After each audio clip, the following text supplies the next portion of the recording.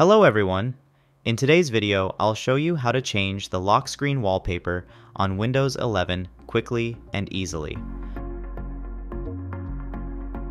First, press the Windows I key combination to open the settings window. Alternatively, you can open the Start menu and select Settings. When the Settings interface appears, select Personalization from the menu on the left. Then click on Lock Screen to access the lock screen settings. Here, you'll find the option Personalize your lock screen. In this section, you can choose from three main options. If you select Windows Spotlight, your lock screen will automatically display beautiful images provided by Microsoft, which change daily. If you want to display a collection of photos, select Slideshow and add a folder containing the images you'd like to use. If you want to use a specific wallpaper, select Picture, then click Browse Photos to find and choose your favorite image from your computer.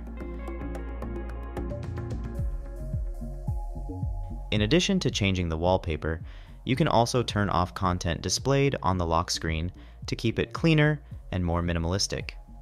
Once you've finished configuring your settings, you can test your new lock screen by pressing Windows L to lock the screen your new wallpaper and customizations will appear immediately.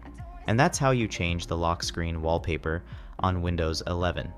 If you found this video helpful, don't forget to hit like, share, and subscribe to the Easy Tech Steps channel so you won't miss our upcoming tutorials.